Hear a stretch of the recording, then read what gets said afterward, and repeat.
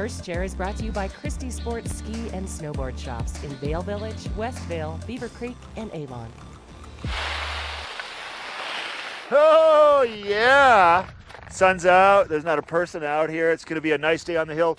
With over 4,000 acres available on Vail Mountain, plenty of terrain to spread out and explore. No need to worry about the crowds. Once again, Rick had mentioned it, cold snow today. So if you find yourself grabbing a little bit, make sure you go and get your skis and your snowboard waxed. I'm kind of halfway down the Chair 2 area, Lodgepole, Berries, Practice Parkway, all buffed out nice with that fresh corduroy.